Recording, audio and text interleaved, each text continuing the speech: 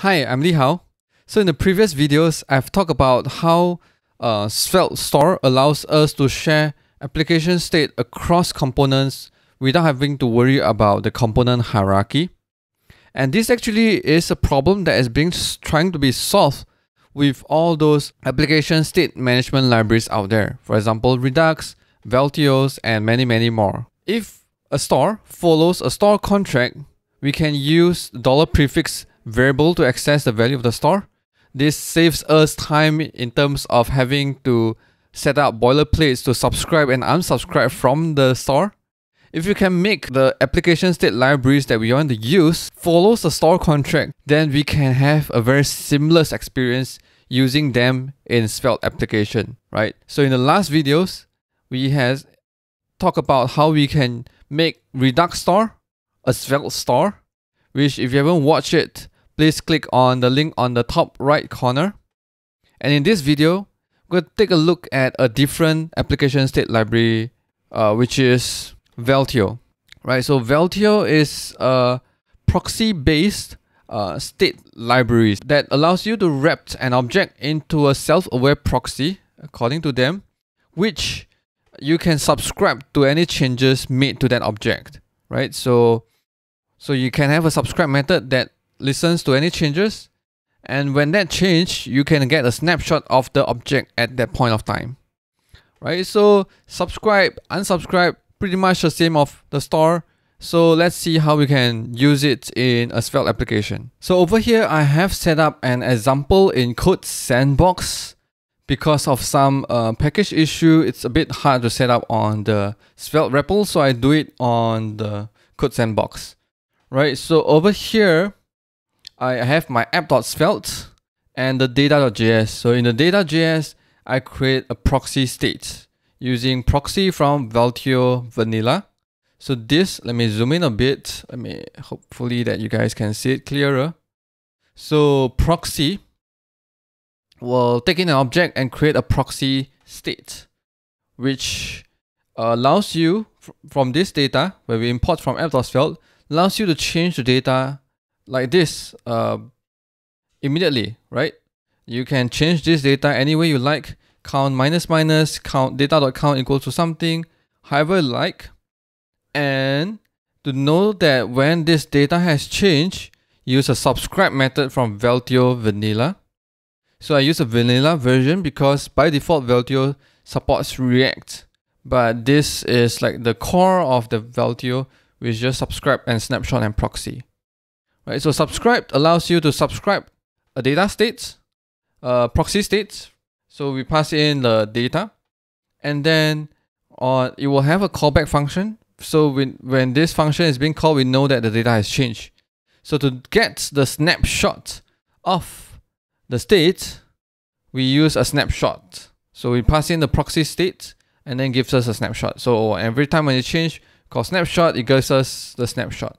So a very simple way of understanding is this is that snapshot shows the exact point of like what is the value of the states. So we use snapshot to read the data from the states. So we use snapshot account over here or snapshot.text over here, right? And whenever we want to manipulate data, we just manipulate data directly, right? So over here, we have a button that on click, we say dot dot dot count minus minus, uh, decrement it and data.count increment it and snapshot account over here. And then we can also bind data.text because uh, using bind, we are going to set the value of data.text directly.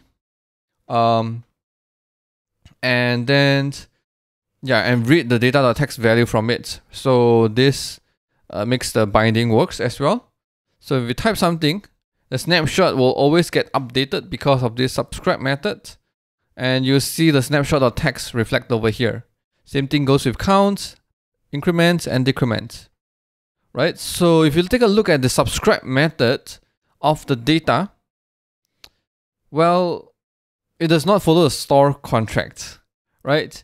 Um, so three points about the subscribing, right? So first thing is that subscribe is an API. So it's not an object. Data does not have dot subscribe method. So probably we have to create an object that has this subscribe method.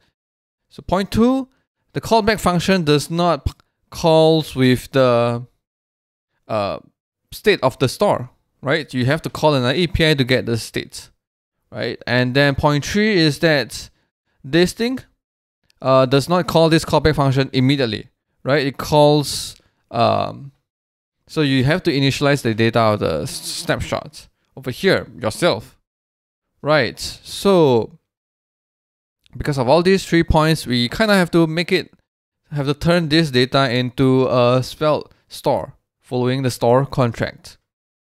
So over here, let's see what we can do over here. So I'm gonna define a function, a util function. I'm gonna export function to Svelte store, right? And then gonna take in the proxy state, and we're gonna return an object. So over here, we are not gonna change the store. So we just make it readable, which means we only need to implement the subscribe method. Subscribed takes in a function, which in this case, we should subscribe directly to the proxy and return the subscribe. Good thing is that it returns us an unsubscribe method, so we can return it directly as well. So over here, I'm gonna take a value, then fn, and I'm gonna get the snapshot of the store. So snapshot let's say uh, subscribe to the proxy state and then gonna call this with snapshot of the proxy state right? And we also need to call this function immediately. So I'm gonna do it over here as well. And here we have it. So we're gonna import this function from data. And we're gonna pass I'm gonna get a new store, uh, snapshot store equals to do spell store and then data. And then since this store follows the store contract, we can use dollar prefix to access the value of the store. So I don't need mounts, I don't need to do it on mount anymore. Dollar prefix value auto subscribes when the command component is mounted and unsubscribes when the component is unmounted. So we can remove all of this, uh, remove on mounts as well, and remove all the subscribe, snapshot, everything. So now I can use dollar prefix over here, snapshot.count, snapshot.text.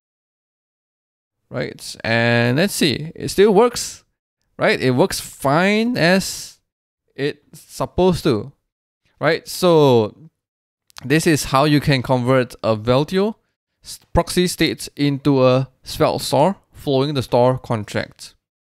So one great thing about Valtio store is that you can uh, any sub property or nested objects of the Valtio store is also uh, sorry of a Valtio proxy state is still another is another proxy state, right? So which means that you can actually subscribe to parts of the Valtio store and ignore the rest of the things, right? What I mean is that, for example, over here, say for example, I have a dollar prefix, which is a reactive uh, statement where I'm going to console out every time the snapshot store has changed. I'm going to say, uh, sorry, let's say this, change. So every time the snapshot store values changes, I'm going to call this console log over here. Okay, so when I every time when I change something, you will see that you will console out over here. Change your console out over here. And if I type something over here, it will console out as well. Right? I'm not sure why it's console out twice. Let me refresh this. Probably it's of the hot reloading. Uh, let me let me refresh and at the same time, let me uh, disable the hot reloading configuration. Uh, sandbox config hard reload. Okay.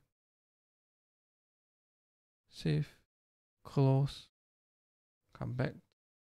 Sorry for that. Okay, I have my app.svelte and data.js. Let's collapse this let's see. Yeah. Whoops. It's also it's still called twice. Is it something wrong with the subscription? Let's see. Supposed to Okay.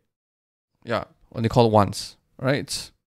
When I change when I change the text, you'll see the console out. When I change the count, you'll see the console out, right? Because we're subscribing the whole object, right? Which contains both the count and the text. But we can actually subscribe to only one of it, right? And that that is how a Valtio store works, right? I can say the count snapshot. I'm gonna say data.count. And over here, I'm gonna console.log change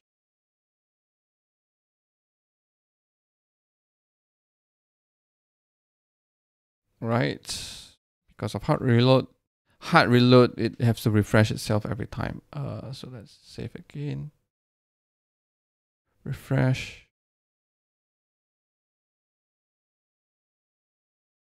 Oh proxy object ah i think i know why. Okay so i'm gonna change uh because this is a primitive so it can't does do well with this. Let's say uh count value zero over here and we are going to change count dot value instead okay. Let's see. Okay so okay by default we have a snapshot change and count change right? So if we change anything over here you'll see snapshot and the count snapshot has changed so we kind of monitor that anytime when this, uh, when, when we change the count of value, this two will be executed because the whole proxy state has changed, right? But if we type over here, you see that only the snapshot store has changed, but not the count snapshot because you just subscribes to a part of it, which is only the count uh, sub object, right? So whatever, whenever the text is changed, we don't care about it. So this is one great thing about Valtio. You can subscribe to a partial object of the whole entire proxy store uh, because sub the proxy state is made up of smaller proxy states. So sub object is another proxy state. Right? So one great thing about using Valtio. So would you consider using Valtio with Svelte? Comments down below. I would love to hear your thoughts about it. So if you like this video, give me a thumbs up and comment down below if you uh, have any opinions about using Valtio with Svelte. So as always, uh, the link of this code sandbox will be in the YouTube description down below. And be sure to subscribe to my channel. New videos will be coming out soon about Svelte Store. So subscribe and get notified. Bye bye.